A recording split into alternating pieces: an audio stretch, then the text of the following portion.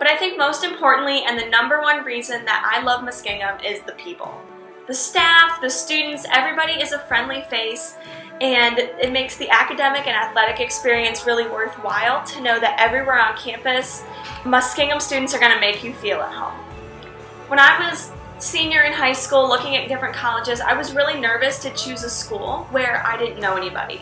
But as soon as I stepped on campus, a small school like Muskingum made it really easy for me to find friends and find where I belong on campus. Muskingum has really become my second home and I hope that you in your college search find your home. Thanks!